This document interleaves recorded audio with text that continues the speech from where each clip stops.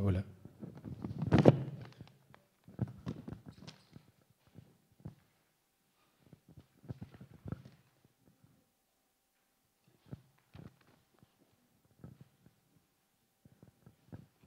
Bueno, buenas tardes a todos y a todas. Bienvenidos a una nueva edición de los coloquios del Instituto Balseiro. Este, como ustedes saben, los coloquios ya se vienen desarrollando hace, muchísimos años el Instituto, los viernes a la tarde, y por suerte hemos retomado esta modalidad, esta presencial, este, además de continuar con la modalidad, virtual, este, y estamos saliendo en vivo por el canal de coloquios del Instituto Balseiro en YouTube. En esta oportunidad tenemos el gusto de presentar a un orador del Departamento de Física Médica de acá del Centro Atómico Bariloche, este, Cristian, déjeme que lo lea, este, Smulski. ¿sí? Este, Cristian nos va a contar sobre las nuevas estrategias para combatir el cáncer, lecciones del sistema inmune. Este, bueno, antes de empezar voy a leer una pequeña mini bio de Cristian, este, que tiene una trayectoria muy interesante.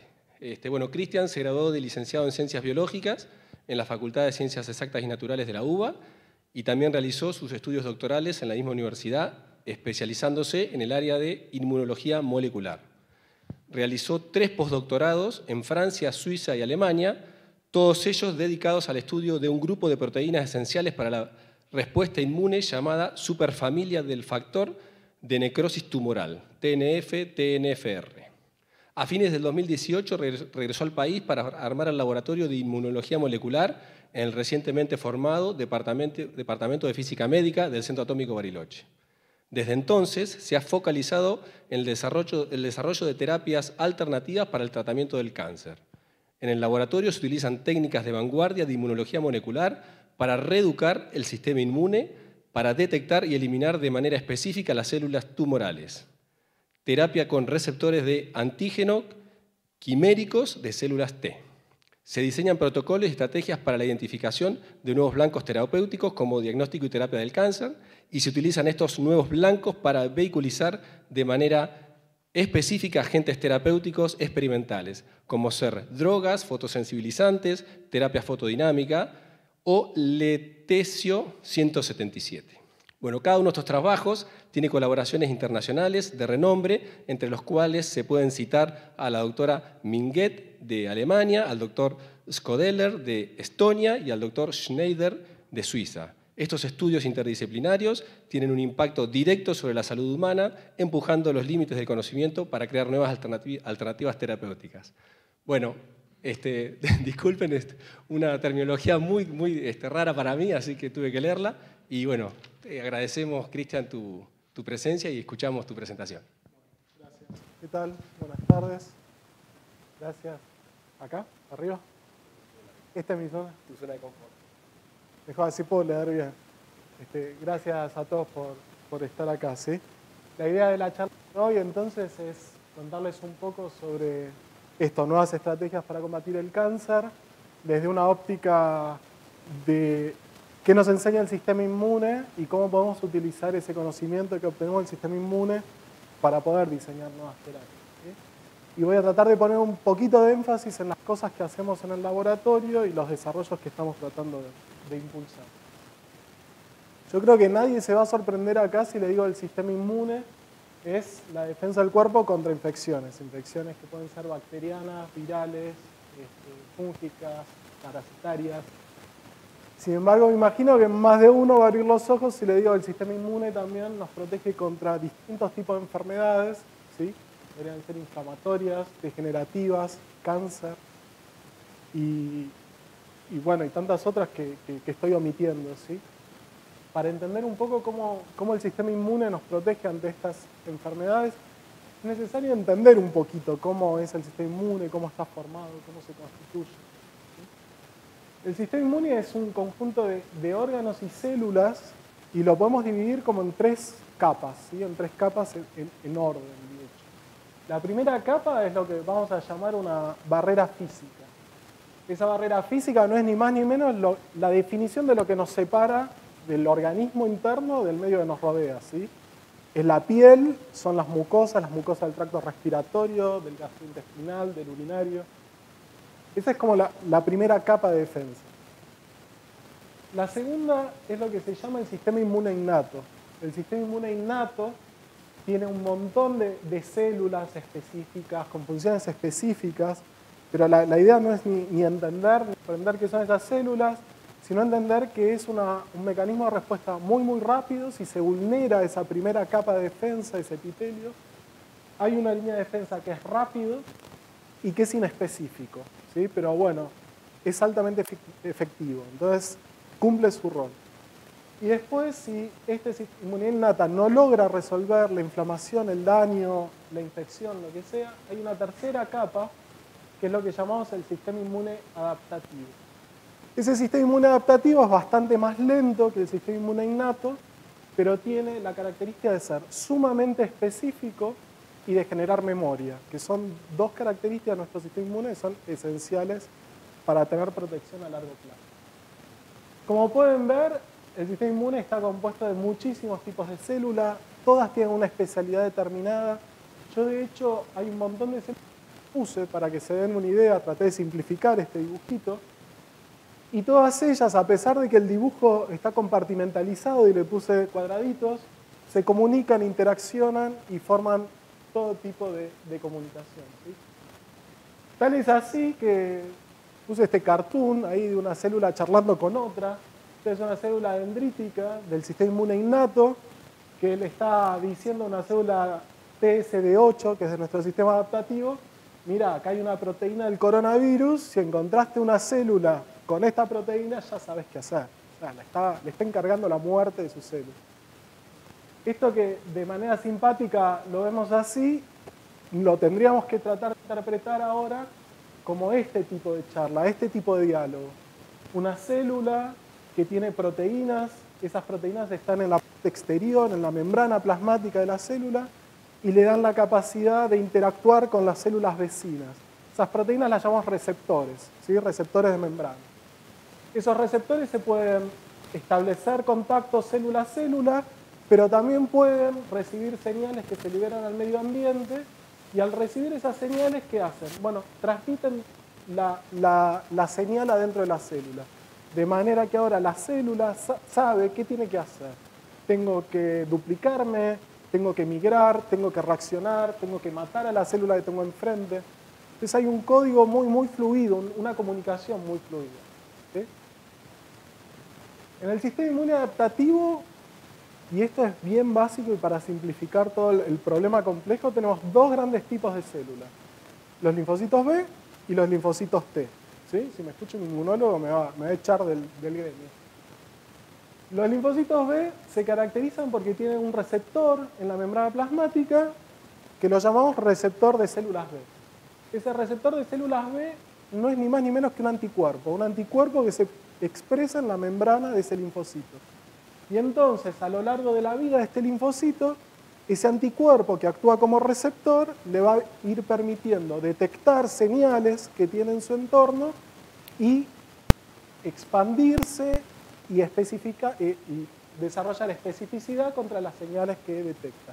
El objetivo final de un linfocito B va a ser producir anticuerpos y esos anticuerpos van a ser las herramientas para detectar agentes, antígenos, marcas, proteínas, cosas que no son propias del organismo. Del otro lado entonces tenemos los linfocitos T y de manera equivalente a lo que les conté con los B, los linfocitos T se caracterizan por un receptor de células T. Fíjense, los inmunólogos no son muy originales con los nombres de, de los receptores.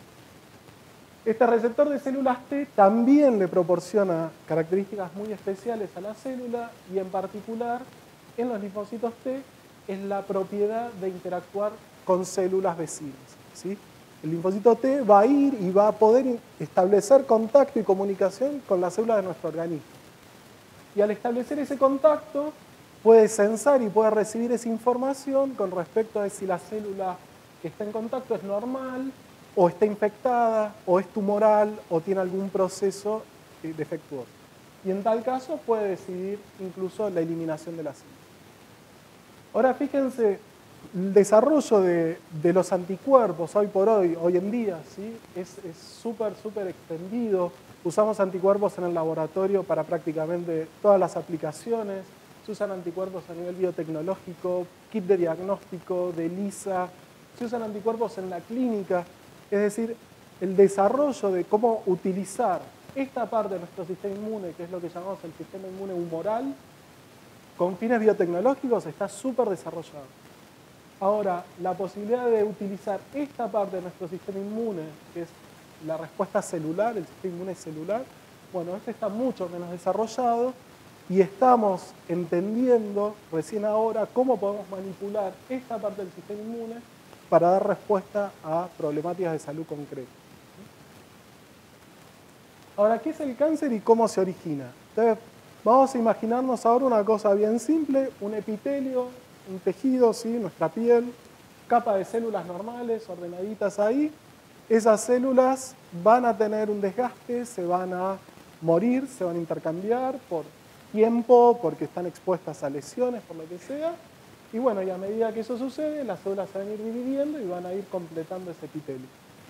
Si por algún motivo en algún momento aparece una mutación en esta célula, bueno, las células están programadas con un, con un sistema de, chequeo y si esa mutación aparece, la célula desencadena su propia muerte celular.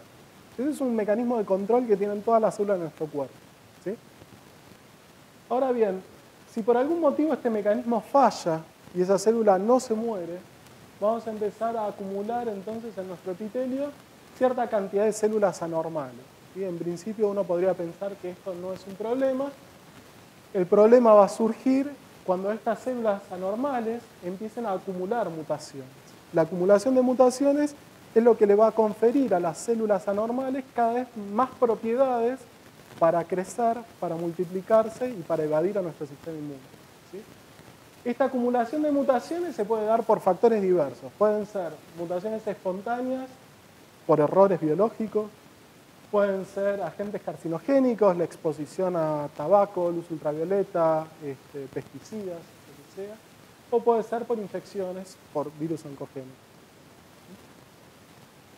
Si esto prospera, vamos a tener una multiplicación de células anormales y vamos a empezar a tener una masa ahí incipiente, y esa masa incipiente va a llegar a un punto en que va a necesitar nutrientes, va a necesitar oxígeno, va a necesitar glucosa, ¿y qué va a hacer? Va a generar sus propios vasos sanguíneos. Cuando esto sucede, se generan los vasos sanguíneos, se genera la posibilidad de invasión de tejidos circundantes y ahí es cuando hablamos de tumor, ahí es cuando estamos en presencia de un tumor maligno. ¿Cómo actúa entonces nuestro sistema inmune frente al cáncer? Bueno, en primera instancia protege frente a virus causantes de tumores, ¿sí? eliminando o suprimiendo las, infecciones. Y hay varios ejemplos de esto, que yo cité algunos, las infecciones por el virus de Epstein-Barr, que están asociadas con la formación de linfomas, sarcoma de Kaposi, hepatitis B, C, leucemia de células T, este papiloma virus. ¿sí? Son todas infecciones virales que cuando están mal controladas pueden llevar a la formación de un tumor. El sistema inmune también elimina de forma eficaz los patógenos y resuelve de manera rápida la inflamación y se impide de esa manera que se establezca un entorno favorable, ¿sí? protumoral.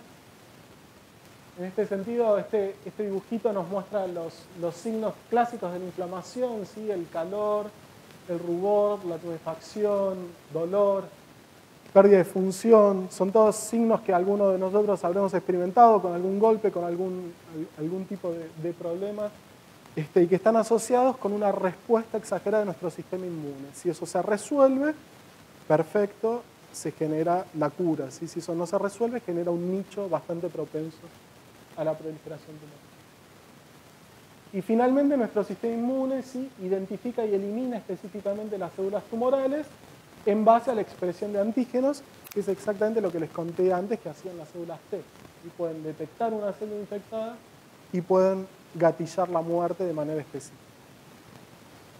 ¿Cómo hace nuestro sistema inmune entonces para mantener la vigilancia en todo nuestro organismo? Bueno, utiliza una vía de, un camino, digamos, de circulación que es el sistema linfático. El sistema linfático es un sistema que está muy, muy, muy extendido en todo nuestro organismo. Es un sistema de circulación que se entrecruza con los tejidos y con el sistema circulatorio y está plagado de nódulos linfáticos, que son pequeños centros ahí de comunicación donde las células de nuestro sistema inmune, detectan algo, van a ir ahí y van a dar la señal de alerta. ¿Qué sucede entonces cuando hay una célula tumoral en nuestro organismo? Bueno, comienza lo que se conoce como el ciclo inmunológico del cáncer. Ese ciclo lo, lo podemos dar por inicio en este punto, donde hay por algún motivo una liberación de señales, de antígenos, de marcas de una célula tumoral, de algo que está progresando de manera anómala. Esas señales son sensadas por células de nuestro sistema inmune innato, en este caso células dendríticas, y cuando detectan esa señal, se van a los nódulos linfáticos y le transmiten la señal de alerta a los linfocitos T. Bueno, acá hay problema. El linfocito T se activa, toma esa señal, identifica cuál es la señal que la célula dendrítica le está dando, sale a la circulación y va a recircular al tumor. Cuando llega al tumor, ese linfocito T va a comenzar a interactuar célula a célula buscando cuál es la que tiene esa marca, esa señal que le dio la célula dendrítica, y cuando la detecta, la mata. ¿Ok? Y eso es un círculo virtuoso, se recomienza varias veces. Ustedes dirán, bueno, si esto funciona así, ¿por qué existe el cáncer? Bueno, la pregunta es la contraria, ¿sí? Esto sucede todo el tiempo en la vida de un individuo. Todo el tiempo tenemos células que están generando mutaciones y todo el tiempo tenemos células que están siendo eliminadas y filtradas en condición normal y por eso, digo, la mayoría de nosotros puede este, avanzar en la vida sin problemas. El tema es que en algunas situaciones hay puntos de control que fallan. Entender y manipular y utilizar esos puntos de control es un eje central en el diseño de nuevas terapias para combatir el cáncer. La lista de, de señales, de receptores, de ligandos, de proteínas que interfieren de manera positiva y de manera negativa en este ciclo es muy grande, pero está bastante lejos de ser comprendida en su totalidad. ¿sí? Estamos en, los inicios de, lo que es la descripción verdadera de, este ciclo. Entonces, ¿cómo, ¿cómo hacemos para manipular esto? Bueno, en el 2018 el premio Nobel de Fisiología y Medicina fue para James Allison, que está acá, y Tazuku Onjo, Básicamente, ¿por qué? Por descubrir una terapia antitumoral por inhibición de la regulación negativa del sistema inmune. Básicamente la pregunta que quisieron responder es cómo podemos utilizar nuestro sistema inmune para combatir el cáncer. Es decir, cómo intervenimos en ese ciclo inmunológico del cáncer para ahora decirle, mira, te saltaste una señal, volvé para atrás, podés encontrar tu célula de nuevo, básicamente.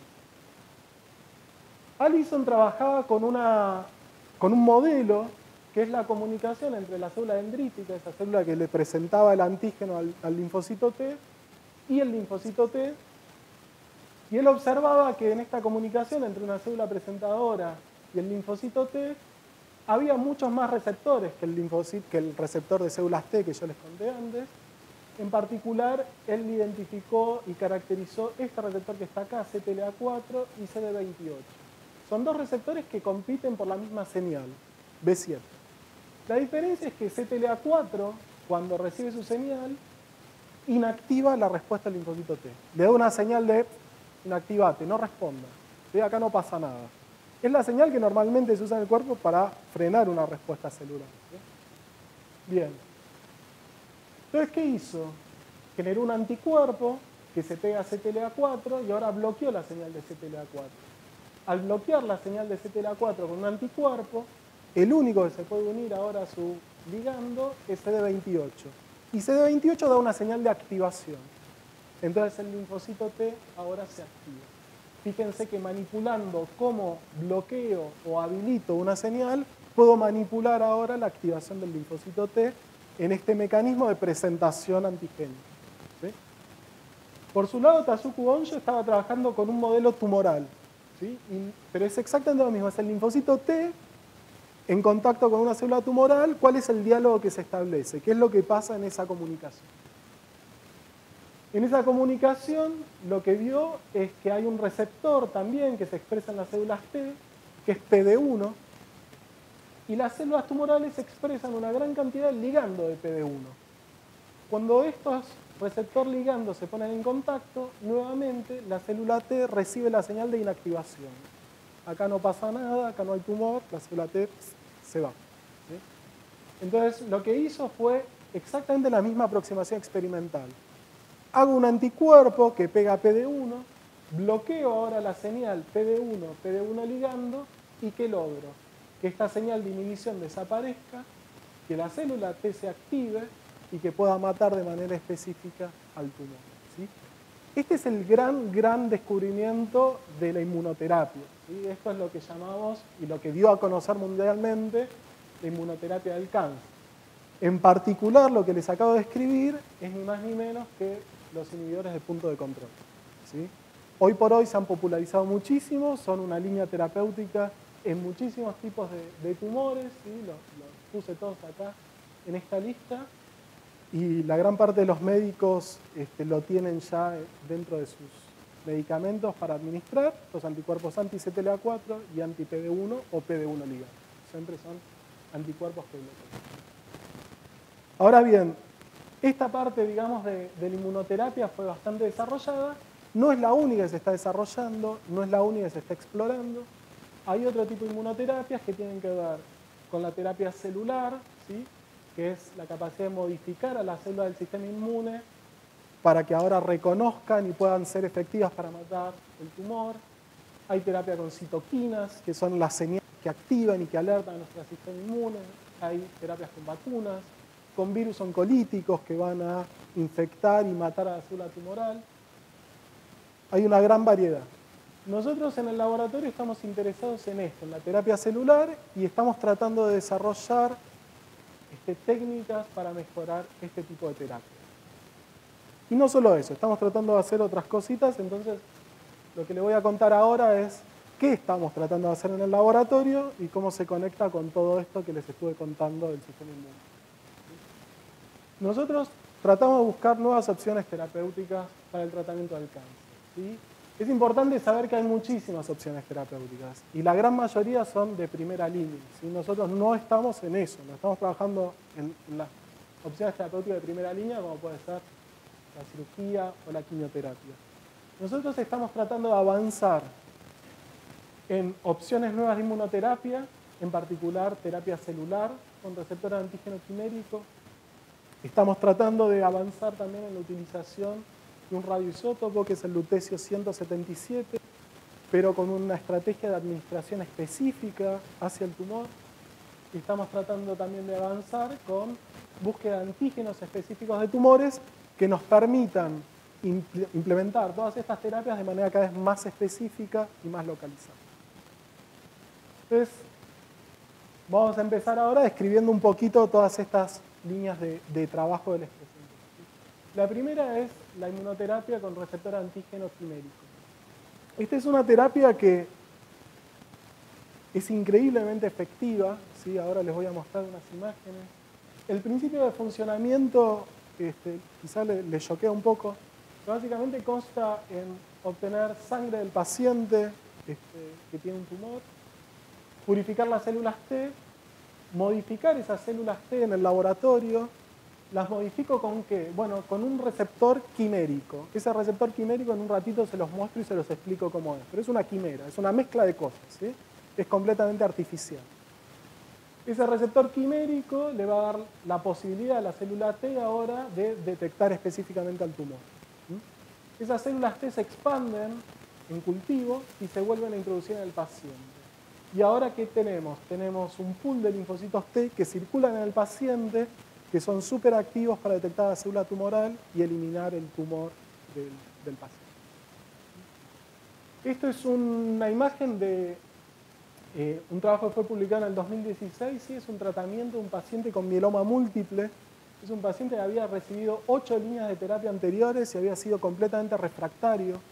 Esta imagen de, PET les muestra todas las lesiones óseas, eh, lesiones en ganglios, en órganos internos. Fíjense, es tiene un, tumor muy, muy avanzado. Y esta es la misma imagen dos semanas después del tratamiento de la administración con un receptor de antígeno quimérico que elimina la célula de mieloma múltiple. Fíjense, la remisión no es total, pero es increíblemente rápido y específico. En uno de los congresos que estuve hace unos años en Singapur, tuve la posibilidad de conocer a una de las personas que había desarrollado los receptores antígeno quiméricos y arrancó su charla mostrando la foto de una nenita. Este, dice, bueno, no todos deben conocer la historia de esta chica. Sigue contando toda una charla científica y cuando termina pone la, la foto de la misma chica 16 años después. Era el primer tratamiento que él había hecho en pacientes y bueno, tenía todas las chances de, haber curado esa chica. yo me acuerdo que me había dejado así como impresionado. La terapia con receptor de antígeno quimérico en el mercado internacional explotó. ¿sí? Hay clinical trials, este, una enorme cantidad de clinical trials, y en particular después del 2017, cuando se aprobó por la FDA el primer tratamiento con receptor antígeno quimérico para linfoma de tipo no Hodgkin y leucemia. Los países que están a la vanguardia en este tipo de terapia son Estados Unidos y China. Estos son eh, datos desactualizados de un paper del 2017.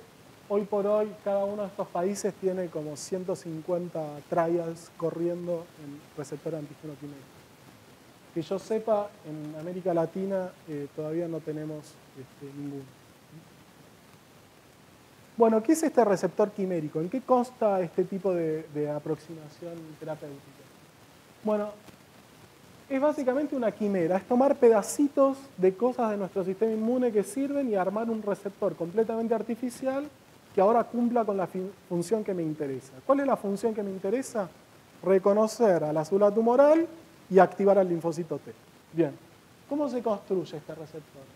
Para reconocer a la célula tumoral se utiliza un fragmento de un anticuerpo. Los anticuerpos son la herramienta eh, más, más útil, más desarrollada para tener una, un reconocimiento específico de algo. Así que si yo tengo un anticuerpo que logra reconocer una célula tumoral, un antígeno, un epítope, le puedo sacar este fragmento de acá, es la parte más chiquita de un anticuerpo que conserva la propiedad de, de reconocimiento de su antígeno. Esto se llama anticuerpo de cadena simple. Y bueno, y lo puedo utilizar para armarme un receptor chiquito. La parte de afuera, entonces, del, espacio extracelular tiene un anticuerpo que va a reconocer a un antígeno tumoral. Luego tiene un dominio transmembrana que deriva de un receptor de las células T, ¿sí? que es el CD8, y luego tiene una serie de módulos dentro de la célula, que son los módulos que son capaces de transmitir las señales en un linfocito T normal, son los módulos de señalización del receptor de células T. De esta manera, si una célula T expresa este receptor antígeno quimérico, detecta la célula tumoral, transmite la señal de activación, mato la célula.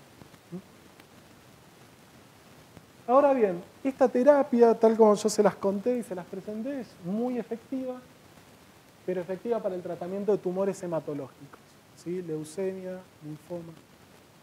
Cuando estamos hablando de tumores sólidos, no demostró grandes niveles de efectividad, y ese es el gran desafío, ¿no? ¿Cómo podemos ahora adaptar o mejorar esta terapia para que sea activa contra tumores sólidos? Ahora, ¿por qué no es eh, efectiva? Bueno, por un lado está el, tema del agotamiento de la célula T. Es muy diferente para una célula T estar en contacto con células tumorales de manera esporádica a entrar en un nicho donde hay un tumor sólido y estar completamente rodeada de células tumorales. Eso le genera un enorme agotamiento de la célula T, no puede actuar, no puede actuar. Bueno, y el otro punto en cuestión es la falta de antígenos específicos de tumores. Yo tengo que poder diferenciar a mi tumor de mi tejido sano para construir este tipo de receptor y matar de manera específica. Bien, para poder dar respuesta a estos problemas, en particular al primero, al agotamiento de células T, ¿qué hicimos? Bueno, pusimos a disposición todo ese conocimiento de ciencia básica, ¿sí? que es necesario, que es importante para poder llevar a cabo después proyectos más aplicados, y en particular el estudio de cómo se organizan los receptores del sistema inmune en la membrana, cómo forman complejos, cómo se ensamblan, son activos, son más activos, menos activos. cuando tuvimos todo ese conocimiento, logramos entender que podíamos manipular los niveles de activación de los linfocitos T y entonces podíamos diseñar ahora receptores quiméricos con una actividad mejorada. ¿sí?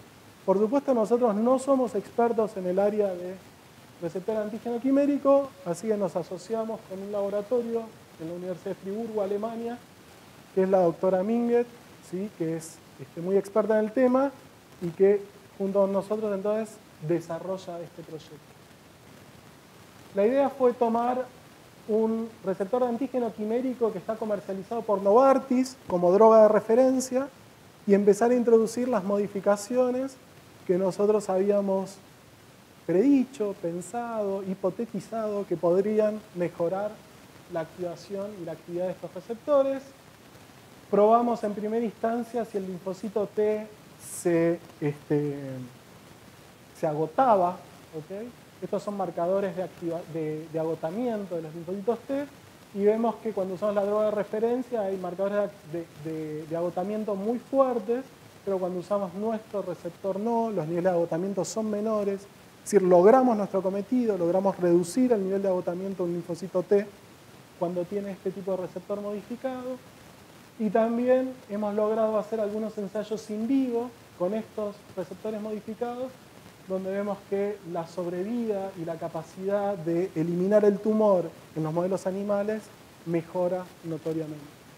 Así que con este tipo de aproximación logramos diseñar receptores de antígeno quimérico mejorados, que no se agotan y que pueden dar respuesta, en principio, al problema del agotamiento del linfocito T. Esto, por supuesto, es una prueba de concepto, es el puntapié inicial y es la base para otros proyectos que estamos llevando a cabo en el laboratorio, en particular proyecto de tesis de Mica, Micaela Corsa, que está acá, este, egresada de la casa, licenciada en física, que, le gustó el, desafío de, poder diseñar receptores quiméricos con actividad mejorada. Sin embargo, todavía no resolvemos el problema de los epítopes. ¿sí? ¿Cómo detecto ahora antígenos nuevos de tumores? ¿Cómo, ¿Cómo puedo dar respuesta a esa otra problemática? Bien, ese es el segundo punto, la segunda línea que estamos tratando de, trabajar e impulsar en el laboratorio. Básicamente, nuestra idea es usar anticuerpos. No anticuerpos enteros, porque los anticuerpos enteros son bastante complejos y difíciles de trabajar en, el laboratorio de todos los días, pero sí esta partecita que les contaba, que es la partecita que conserva la propiedad y las características de identificar y reconocer un antígeno, que es lo que se llama un anticuerpo de cadena única. Esos anticuerpos se pueden conseguir de manera comercial en bibliotecas combinatoriales. Básicamente uno puede comprar o encargar una empresa, o en el caso nuestro establecer alguna colaboración con una empresa, ¿sí? ¿Para qué? Para poder buscar anticuerpos de manera combinatorial. Son partículas, para que se den una idea, tienen 10 a la 10 combinaciones de anticuerpos posibles. ¿okay? O sea, vamos a escrinear mucho, tenemos mucha chance de encontrar algo interesante. Y entonces, ¿cuál es el problema acá? ¿Cuál es la limitante? Bueno, la limitante es la estrategia. ¿Qué estrategia de búsqueda y selección empleo para poder llegar a tener estos anticuerpos específicos de tumores? Ese es el gran desafío del proyecto y eso es lo que nos diferencia un poco de lo que se está haciendo hoy en día. Este lo que nosotros estamos queriendo hacer entonces es básicamente partir de muestras de tumores de pacientes, utilizar estas bibliotecas combinatoriales con un protocolo de búsqueda y selección muy especial, que no voy a contar, no voy a entrar en detalle porque no es el objeto de la charla, y tratar de obtener de esta manera anticuerpos específicos que reconozcan al tumor. Vamos a tratar de hacer en paralelo tejidos sanos circundantes a estos pacientes para saber y estar seguros que nuestros anticuerpos son específicos contra el tumor y no contra el tejido sano. Y de esta manera, de a poco, ir armando una colección de muestras tumorales una colección de anticuerpos específicos que nos permitan en un futuro dar una respuesta mucho más rápida ante un nuevo tumor o ante un nuevo paciente que tenga una necesidad concreta. En este sentido, bueno, la reciente incorporación de Pablo Rucci, ¿sí? que es médico del Hospital Zonal, que empieza a hacer su doctorado en el laboratorio ahora, nos dio la posibilidad de empezar a trabajar de manera muy concreta y dedicada con las autorizaciones y todos los requerimientos que necesitamos para establecer un biobanco, para poder muestrear tumores primarios y poder empezar a poner en marcha esta parte del trabajo, que por suerte ya empezó, ¿sí? ya hemos obtenido a través de Pablo muestras de glioblastoma de pacientes de acá de Bariloche, que están creciendo en el laboratorio, muestras de linfoma de células B, que también están creciendo en el laboratorio, y que son el puntapié inicial para poder avanzar en este, lado, en este campo. Por supuesto que la idea no es tener una colección ni de células ni anticuerpos en la heladera del laboratorio, la idea es que todo esto vuelva hacia el paciente, ya sea en forma de herramienta de diagnóstico, receptores antigenotiméricos o administración de drogas. ¿sí? Entonces ahí es donde se cierra el círculo. Bien, para plantearse una terapia dirigida, la única herramienta con la que contamos no son los anticuerpos, ¿sí? contamos con un montón de herramientas. La que nosotros queremos usar como estrategia principal son los anticuerpos, pero también sepan que se pueden utilizar péptidos, también sepan que se pueden utilizar moléculas pequeñas. Y bueno, cada, cada estrategia va a tener sus pros y sus contras. Por ejemplo, los anticuerpos son de tamaño muy grande, las moléculas pequeñas son, obviamente, los péptidos son más chicos, y eso hace que los anticuerpos sean retenidos en el organismo mucho más tiempo, mientras que las moléculas pequeñas y los péptidos son eliminados de la circulación de manera muy rápida.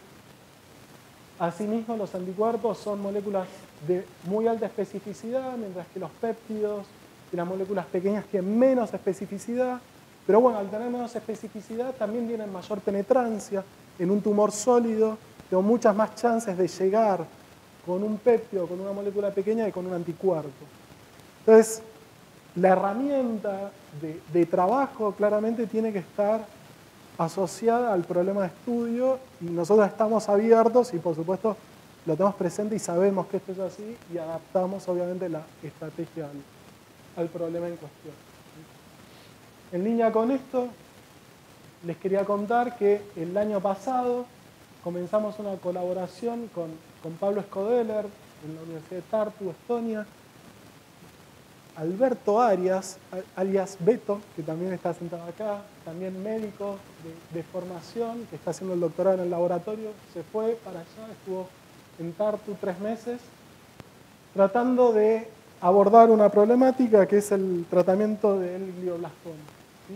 El glioblastoma es uno de los tumores este, más agresivos ¿sí? que tenemos en, la clínica eh, no hay opción curativa eh, terapéutica hasta el momento, ¿sí? Eh, bajísima sobrevida. Y entonces, obviamente es un objeto de estudio muy, muy interesante para poder justamente brindar una alternativa terapéutica.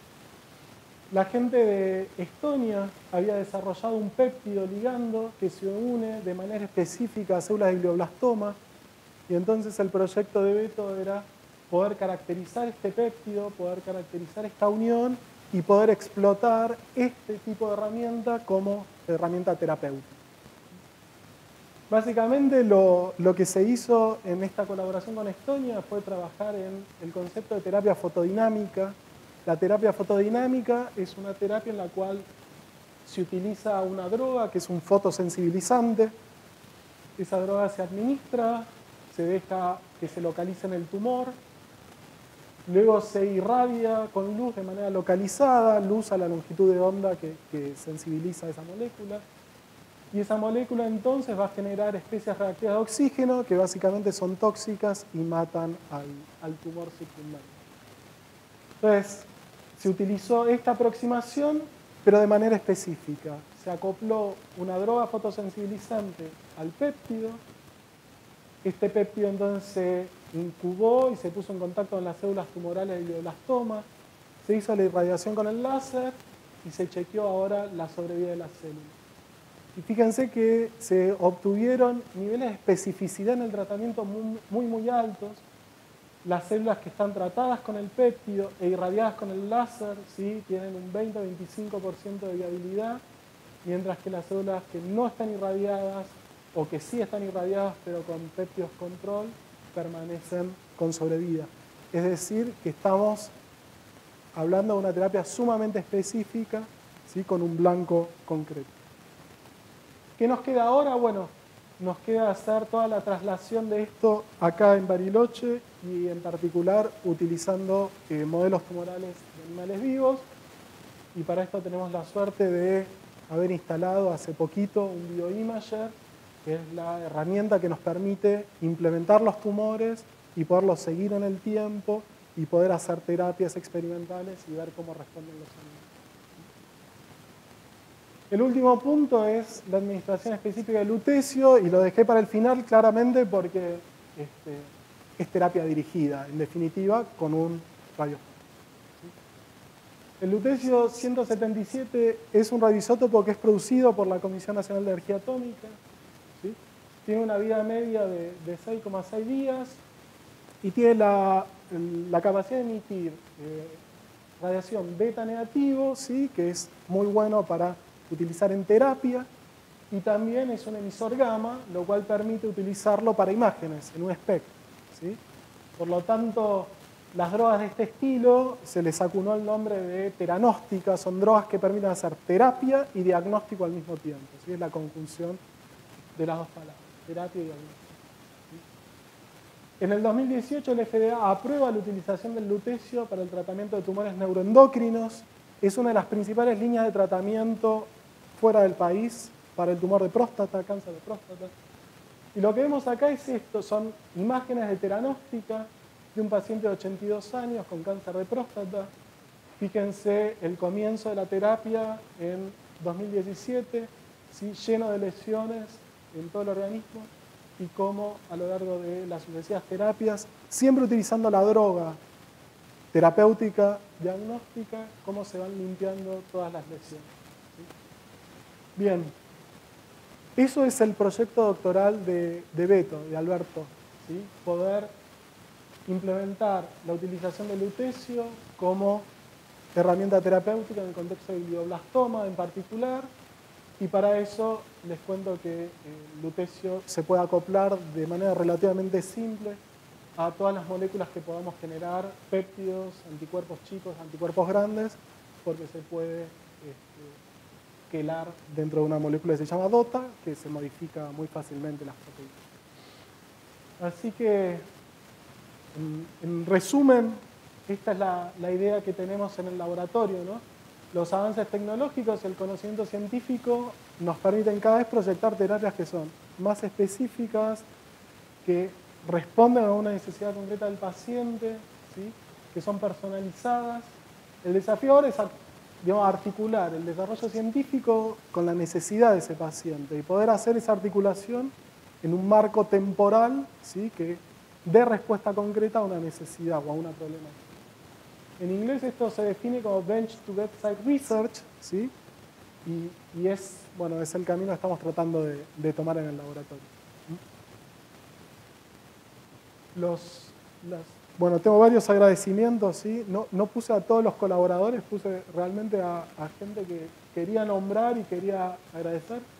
Pascal fue jefe mío de postdoctorado cuando estuve en Suiza. Es una persona súper generosa, súper inteligente y que nos ha apoyado en todo el desarrollo y el comienzo del laboratorio acá en Argentina este, nos manda reactivos, nos manda plásmidos, está todo el tiempo a, la escucha de mis necesidades y por lo tanto es un, colaborador realmente de, hierro. Susana, con la cual desarrollamos el proyecto de los receptores de antígeno quimérico. Pablo, que es argentino, ¿sí? que ahora se mudó su laboratorio a Madrid, con el que desarrollamos el proyecto del tratamiento del glioblastoma con los péptidos.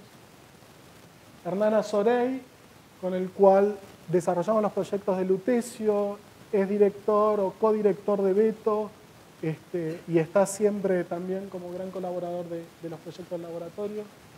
Sole, que nos permitió comenzar con un montón de aporte de equipamiento y, cosas que necesitábamos en el laboratorio cuando llegamos. Y bueno, y Mauricio, con el que tenemos un gran número de colaboraciones en marcha que no les pude mostrar, quizás en otra charla les mostraré, son otras cosas de, trabajo quizá más básicas, más de ciencia básica. Y bueno, el, gran motor del laboratorio, ¿no? Los, chicos están trabajando. Mica, como les dije, este, estudiante de doctorado de CONICET, licenciada en física acá en Balseiro. Beto, médico de la Universidad de Buenos Aires, estudiante de doctorado con beca CONEA. Pablo, también médico, este, del Hospital Austral, graduado. Estudiante de doctorado con una beca FONCIT.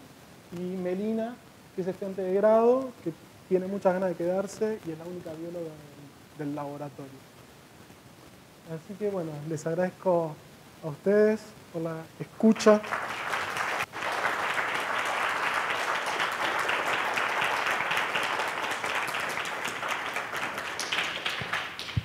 Bueno, gracias Cristian, la charla estuvo excelente, fue muy entretenida bueno, de muy buen nivel, así que bueno, vamos a abrir un tiempo para hacer preguntas. No sé quién una persona allá allá atrás.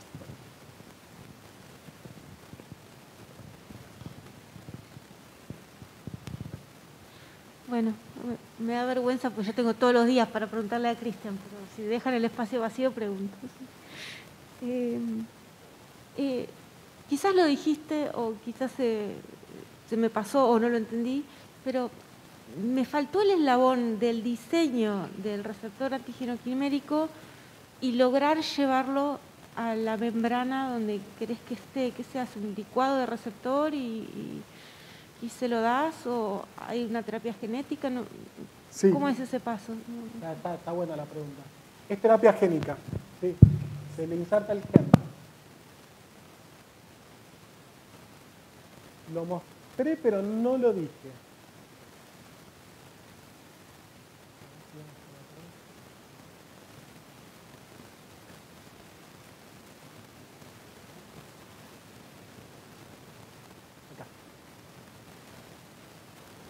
es una modificación génica. Lo que se hace es introduce el gen dentro de la célula T.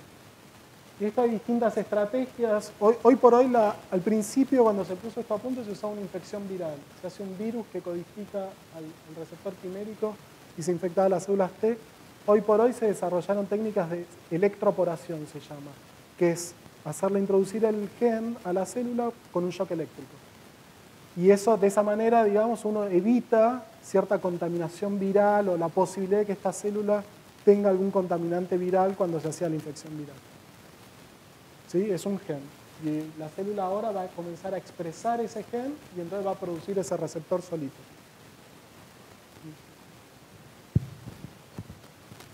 Por acá tenemos otra pregunta. Sí, eh, bueno, muy interesante la charla. Una pregunta muy básica. ¿Por qué el lutecio? ¿Qué características tiene el lutecio que lo han seleccionado para el tratamiento? Mira, cuando lees un poco los, papers, a ver, es de interés estratégico de la CONEA, ¿sí?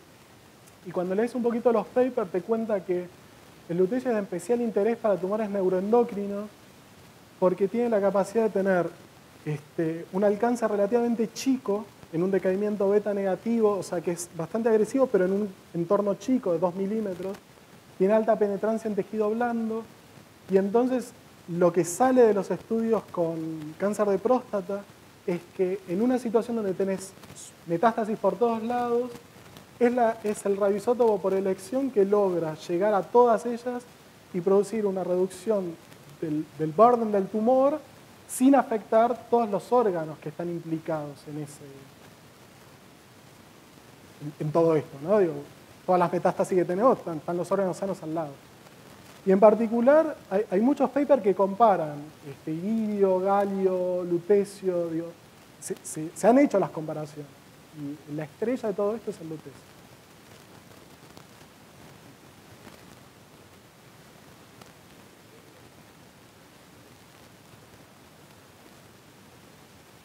Sí. Justamente la célula T es la que podía detectar en un contacto célula-célula lo propio de lo no propio. ¿sí? Entonces, si uno toma células T de, otro, de otra persona y se las das a otro, lo va a reconocer todo como...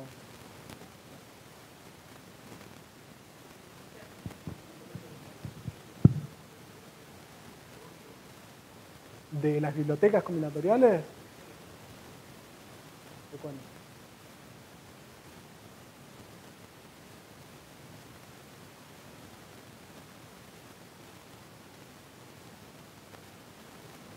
Entonces, un, anticuerpo está formado básicamente por dos unidades génicas. Un gen que es la cadena pesada, que sería, mira, seguí el láser todo por acá, es marroncito, marroncito, naranja, naranja, eso es lo que se llama cadena pesada, es un gen largo, y hay otro gen que es la cadena liviana. Entonces uno puede tomar un fragmento génico de cadena liviana y un fragmento génico de cadena pesada. Lo puedo amplificar en un gen en el laboratorio, lo tengo en el tubito de ensayo. ¿sí? Así como puedo amplificar uno, puedo amplificar un repertorio de cadenas livianas y un repertorio de cadenas pesadas. Como todo el anticuerpo es muy difícil de trabajar, me quedo solo con esta partecita de acá, que es la región variable. La región variable de la cadena pesada, la región variable de la cadena liviana. Y ahora los tengo en dos tubitos. Tengo todos los, variables pesados, todos los variables livianos. ¿Qué hago? Los combino de manera aleatoria y les pongo un límite, un péptido que los une. Y de esa manera construyo bibliotecas combinatoriales. Esas bibliotecas combinatoriales hay, de muchos tipos distintos. Pueden ser de pacientes inmunizados para encontrar anticuerpos que reconozcan una infección determinada. Esto fue mi tema de trabajo durante mi doctorado. ¿sí? Usábamos bibliotecas de pacientes con cardiopatía chagásica crónica para encontrar anticuerpos contra Trypanosoma cruzi. Sí. Y todo se juega en la selección. todo, el gran desafío de, usar esto es la selección. Y mira, la gente este de, Holanda tiene algunas bibliotecas que llegan a 10 a las 12 partículas. Las más estándar están entre 10 a la 8 y 10 a la 10. Un montón. Y uno hace rondas de amplificación. Hace una primera ronda, seleccionás X partículas y esas las volvés ahora a amplificar en una segunda ronda, entonces se van haciendo rondas para obtener las partículas más específicas. Hola, quería consultarte, consultarte, ¿cómo haces para sacar, o sea, para definir los anticuerpos que definen un tumor? O sea, vos agarrás una célula tumoral y cómo vas a definir cuál es el anticuerpo que te va a definir que esa célula es tumoral y es un tumor con tales características, ¿no? Como para después poder dirigir tu, tu, terapia. Es, todo lo que no conté la pregunta. Y no, y no, lo conté a propósito, porque era es todo un mecanismo súper complejo de justamente de screening y búsqueda de estas bibliotecas. El principio básicamente es poder trabajar con tejidos sanos circundantes. Ese es el, principio básico. Entonces uno puede hacer rondas de selección positivas y rondas de selección negativas. Es decir, puede eliminar todo lo que se pega al tejido sano y trabajar solo con lo que se pega al tumoral. Puede alternar rondas de selección, primero positivo, negativo, positivo, negativo. Un poco, esa es la aproximación. No es fácil. ¿Qué hace Cristian? Una preguntita. Eh, ¿Cuán lejos o cuán cerca está la terapia de CAR de ser algo, no sé si masivo, bueno, espero que no masivo porque eso quiere decir que estamos todos con cárcel, pero quiero decir que se puede aplicar eh, más o menos de rutina? Porque, bueno, como vos contaste, las tareas de transformar, de electroporar un linfocito, de extraer un linfocito, de, todo eso son cosas que se hacen en los laboratorios más académicos, pero cuán lejos o cuán cerca está de que eso llegue a un hospital, por ejemplo. La idea es que lo haga un hospital, el hospital saca los linfocitos, genera el CAR-T, se lo da al paciente. ¿Cómo va? ¿Por dónde va eso? La, respuesta tiene dos aristas. Diría, ¿en Argentina o en el primer mundo? Sería la... Bueno, ¿cómo lo logran ellos para ver si lo vamos a lograr nosotros? En, en el primer mundo se usa, ¿sí? De hecho, Milteni tiene una máquina que te hace todo. Vos le pones la bolsita de sangre del paciente, te purifica los linfocitos T, los transforma, te los expande y te los saca del otro lado. ¿Ok? O sea, vos podrías tener una máquina que te haga todo. Claro, ¿cuánto sale? Bueno, una terapia de este estilo tiene un costo por paciente estimado de unos 200 mil dólares. Eh, no es un costo, no es un costo loco en el primer mundo. Si estás hablando de es una alternativa terapéutica no sé, un paciente que fue refractario a ocho líneas terapéuticas antes. Suma todos los análisis que le tenés que hacer, todos los tratamientos que le hiciste, todos los escáneres que le haces. No, no es desproporcionado el monto. Sin duda es desproporcionado para la realidad argentina o para un servicio médico ¿no? como el que tenemos acceso a él.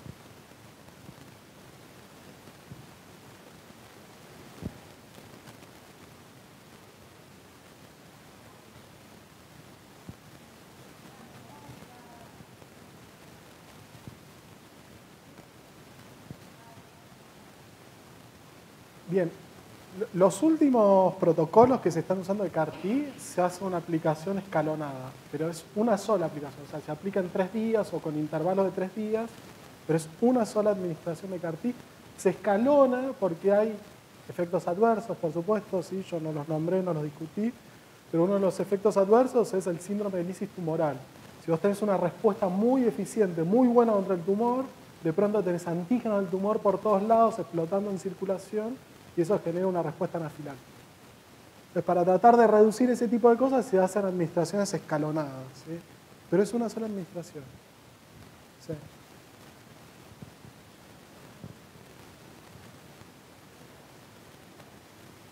Sí, el paciente que fue tratado, que es el que presentaron en el Congreso de Contado el otro día, tiene como 16 años de tratamiento y, y sigue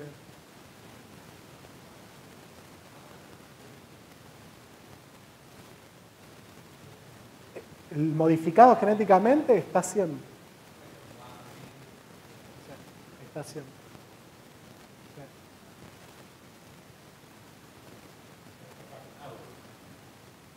De alguna manera. Lo que pasa, ¿contra qué está vacunado? Contra un anticuerpo.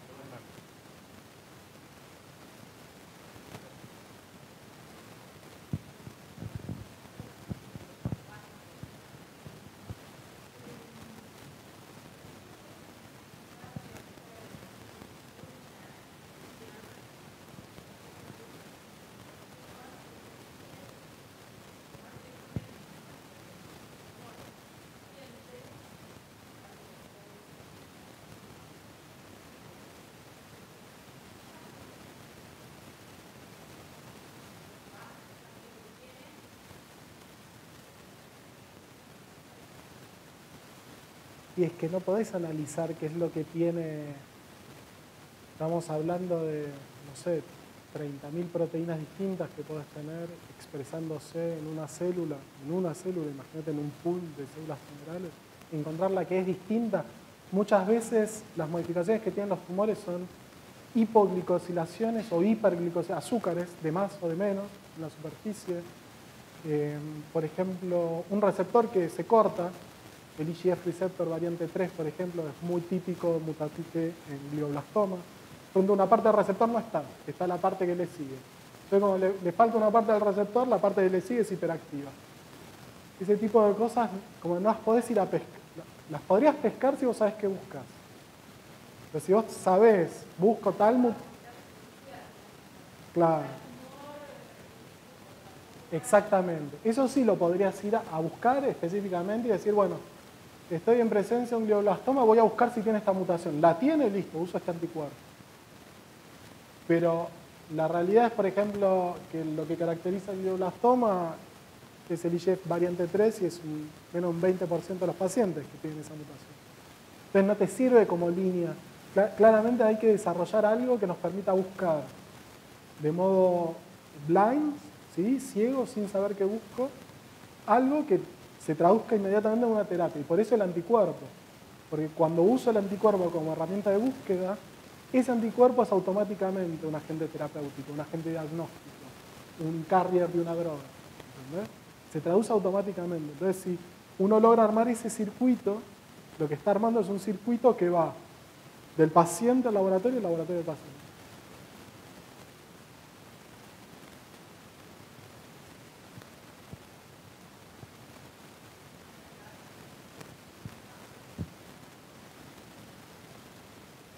bibliotecas humanas, de anticuerpos humanos.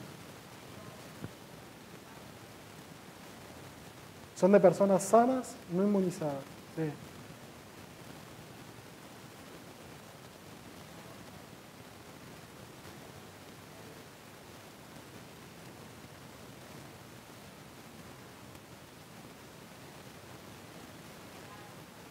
Sin duda.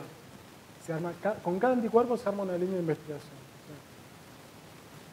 No estamos ahí todavía. ¿eh? Sí. Sí, Hay que caracterizar el blanco, hay que hacer un montón de cosas.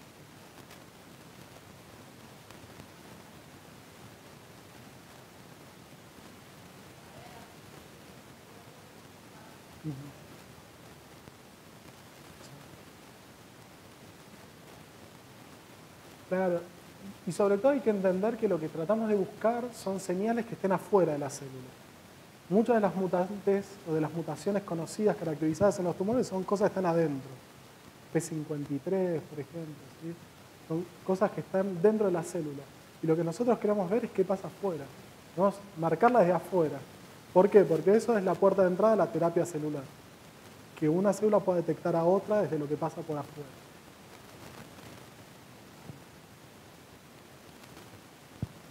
¿Puedo hacer una pregunta? ¿Moderador puede?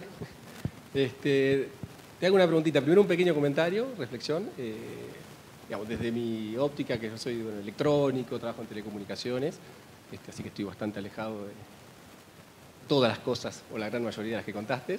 Este, pero viéndolo y haciendo un parangón en las cosas que trabajamos nosotros, en ingeniería en general, hace unos 30 años, 40 años, un poco la ingeniería cambió bastante la forma de, digamos, de enseñarse y de encararse cuando las cosas empezaron a abstraer de lo que uno quería hacer realmente y la empezó a modelar desde un punto de vista matemático, ¿sí? Básicamente hablar de señales y sistemas, bueno, un poco de, esas cuestiones, ¿no? Y bueno, entonces no dejé de hacer ese parangón mientras te escuchaba, ¿no? De cómo esto se asemeja a lo que es un sistema de control para nosotros, ¿sí? En la cual tiene, no sé, o el tumor, lo que en el futuro va a ser un tumor, sí que es tu sistema, ¿sí? Uno tiene de alguna manera sensores que están mirando todo el tiempo qué está pasando ahí, ¿sí? Después tiene lo que hace el ingeniero, que es trabajar en un sistema, en un controlador, en un, diseño de ese sistema para controlar, y por otro lado realimentamos con actuación, ¿no? con actuadores. ¿no? Y todo ahí, bueno, hay una teoría de, de sistemas ¿no? con la que uno de alguna manera se abstrae del problema, pero logra hacer modelos que de alguna manera puedan resolver lo que uno quiere, en este caso, controlar. Entonces mi pregunta es, ahora sí concreta, es, si en algún momento, bueno, de, tu experiencia acá afuera, han de alguna manera cambiado un poco esta forma, ¿no? Salir un poco de esto de, la, de la físico-química que hay adentro y ver esto a nivel de más de sistema, ¿no? Y ver, por ejemplo, no sé, uno cuando tiene un sistema de control, es muy importante los tiempos con los cuales uno puede establecer esa señal de control. Para eso tengo que ver rápido, ¿no? Si no, básicamente lo que está pasando es que nuestro sistema empieza a oscilar, bueno, básicamente inferiría que acá quiere decir que el tumor empieza a desarrollarse descontroladamente, ¿no? Así que bueno, ¿cómo esto, si de alguna manera lo han, de alguna manera, no sé, este, considerado alguna vez, te topaste en, en algún lugar de tu carrera con gente que haga este tipo de estudios, ¿no? ¿Cómo llevar esto a un, no sé, un marco más de sistema? A un modelo de sistema. Claro, sí, sí. Y si no, bueno, si acá por ahí lo han tenido alguna vez cerca, ¿no? claramente hay muchísimo, muchísimo desarrollo de eso en biología. Yo personalmente no conozco en, inmunología de tumores que haya una aproximación de sistemas. No sé si alguno conoce, pero en biología se usa mucho de eso. ¿sí? No, es que no se usa, se modelan los sistemas, se tratan de analizar este, y generar modelos que respondan en neurociencia sobre todo, pero en esto no conozco. Sí, hay que juntar un poco más de conocimiento. en unos años armamos sin duda. muy bueno. No sé si hay alguna pregunta más. Bueno, si no más preguntas, Cristian, te agradecemos. Este... Muchas gracias.